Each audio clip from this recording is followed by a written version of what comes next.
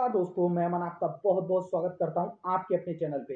दोस्तों, आज हम बात कर रहे हैं राकेश झुंझुनवाला जी की, क्योंकि मार्केट की द बिग बुल कहे जाने वाले पर्सन अगर हम कहें तो द बिग बियरसमैन भी कह सकते हैं, क्योंकि उन्होंने ट्रेडिंग से और इन्वेस्टिंग से दोनों तरह से पैसा कहे और ट्रेडिंग में कहें तो शॉर्ट सेलिंग के मास्टर कहे जा सकते हैं, और सबसे ज़्यादा पैसा उन्होंने वहीं से कमाया जिस जमाने में लोगों को मार्केट के बारे में कुछ पता भी नहीं था तब वो मार्केट से इतना पैसा कमा रहे थे। और वहीं पर अगर देखें तो बासठ साल की उम्र में, जो कि एक बहुत बड़ी एज नहीं है, जिस एज में वो आपको छोड़ करके जा सके, क्योंकि उनकी बहुत सारी ऐसी आदतें थी जो उनको इस मुकाम तक ले गई। उन्होंने अपने स्वास्थ्य का इतना ज़्यादा ख्याल नहीं करा। वैसे अगर देखें तो बहुत ही एक डाउन टू अर्थ व्यक्ति थे।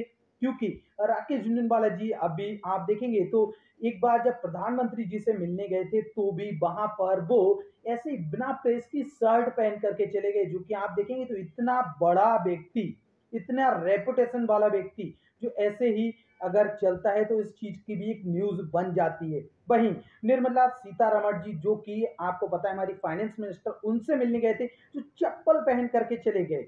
और यही चीज़ें दर्शाती हैं कि व्यक्ति का जो व्यक्तित्व है वो किस तरह का है।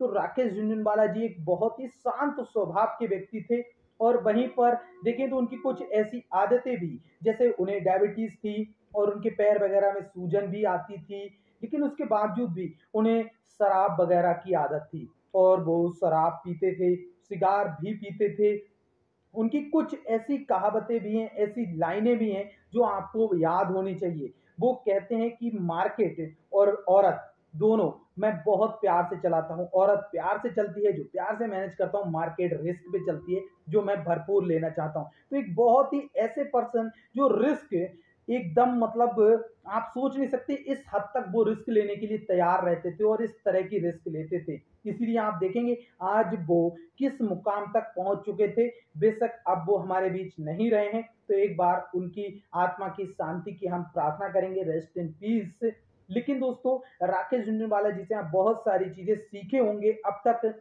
और शायद आप फ्यूचर में भी सीखेंगे।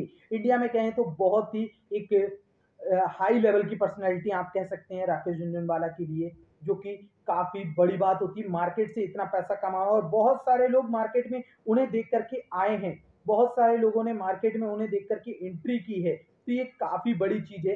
किसी भी पर्सन के लिए अगर लोग फॉलो करते हैं, उनके पोर्टफोलियो में जो भी स्टॉक्स रहते हैं, लोग उसमें ब्लाइंडली निवेश कर देते हैं। बेशक वो अपना रिस्क मैनेज करके चलते हैं।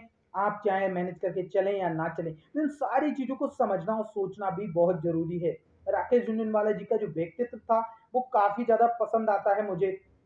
अगर हम कहें तो हर्षल मेहता के टाइम से वो इस मार्केट के अंदर है। हर्षल मेहता जहाँ बिग बुल के नाम से उस समय थे और वहीं ये बेरेस कंपनी में। तो ये दोनों चीज़ें आपको क्या लगता है, ये बिग बुल ही कहना सही होगा या बेरेस कहना ज़्यादा सही होगा? वो आप कमेंट बॉक्स में बता सकते हैं।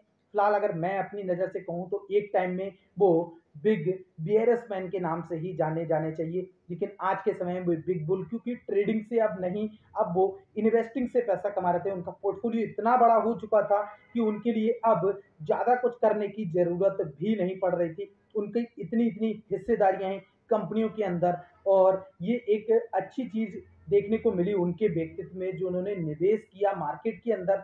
और रिस्क बहुत मैनेज किया। लेकिन अगर हम बात कहें तो कुछ ऐसी आदतों की वजह से वो अब हमारे बीच नहीं रहे हैं। और एक बार उन्होंने कहा था कि अगर मार्केट में अपॉर्चुनिटी हो तो वो अपनी बीबी के गहने तक गिरवी रखने को तैयार होंगे, उन्हें बेच करके भी पैसा मार्केट के अंदर लगा देंगे।